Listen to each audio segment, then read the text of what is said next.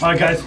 Are we ready? Because it's going to be a battle out there. That team over there, they were thinking they're going to crush us. They're already thinking they're going to the final. Today, we play with heart. Everything you got. We've been to this obstacle before last year. And if we want to go to the cup final, we have to pass this element right now. Now we get in here and we go on the field, we get to qualification, and we're going to the next round. Come on, guys.